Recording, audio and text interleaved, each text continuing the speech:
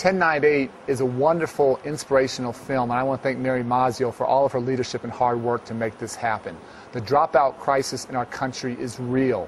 30% of our high school students never graduate. Today, unlike 30 years ago, there are no good jobs out there, and basically every child who drops out today, I believe, is condemned to poverty and to social failure. Teaching entrepreneurial skills NFTE's leadership is a big part of the answer. I was lucky enough to have them as a great partner in Chicago. The stories of these students, what they overcome, Rodney Walker, who I had the good fortune to get to know and work with in Chicago, is simply extraordinary. Giving our students a sense of what they can accomplish, their tremendous potential, tapping into that entrepreneurial zeal will help students who would otherwise fall by the wayside not just be successful, but go on to be tremendous leaders. So I want to thank NFTE for their remarkable work, not just in Chicago, but around the country. Collectively, we have to end this dropout crisis. This story helps to both shed light and heat on the issue that we have to deal with concretely in a real way, and NFTE's going to help us get where we need to go as a country. Congratulations, enjoy the film. It is remarkable.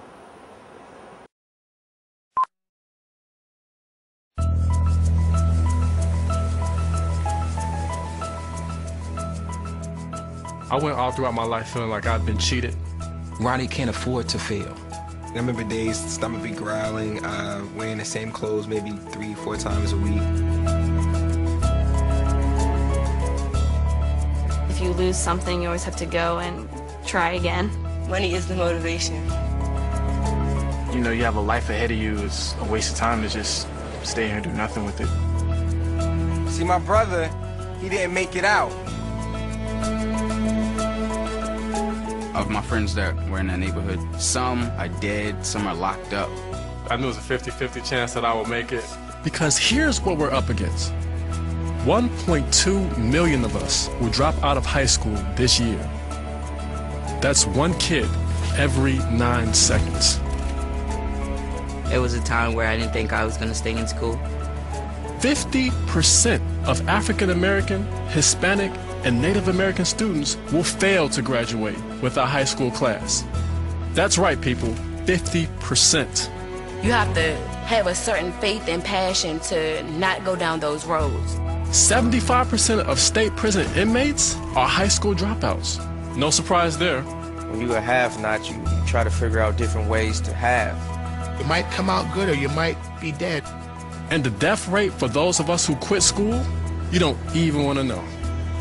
But there's one statistic that is more hopeful. 80% of dropouts would have stayed in school if there had been courses that were relevant to their lives, that could help them with the obstacles they face every day. This is the story of a competition and how a few of us learn skills that might help us beat the odds and find a way out.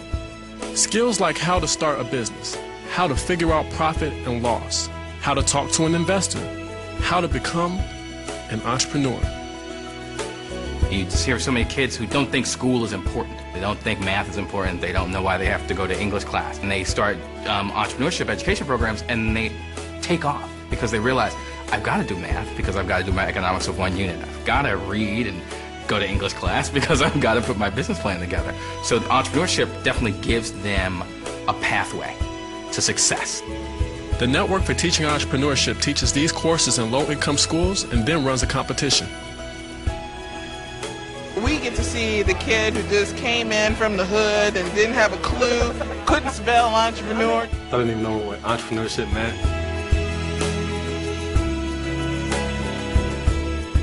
And they are the confident to able to walk into a room of adults, talk confidently about their business, their return on sales, they know their numbers. It's an amazing process. One day your struggles are going to prepare you for greatness. I don't want to end up falling through the cracks. With the regret of not fulfilling my purpose. Being a disappointment. I don't want to end up in jail. Where I can't make my own decisions, turn my own key. I don't want to end up dead.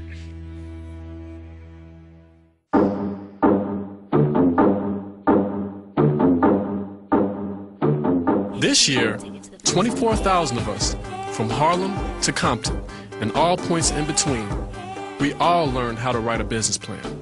For businesses ranging from organic candles to custom guitars to innovative football ice shield technology. Most of us did it for a class, for a grade. But some of us actually had real businesses going. So we all took our business plans and entered NFTE's National Business Plan Competition. 24,000 entrants. Only 100 will advance to the regional semifinals. Welcome all of you to our NFTE Regional Business Plan Competition. My name is Rodney Walker. My name is Anae Montague. My name is Natalie Johnson. My name is Hong Cheng. Ugo Gamba. Evelyn Espinosa. Matt Friedman. Doris Buchanan. Brian Riley. You got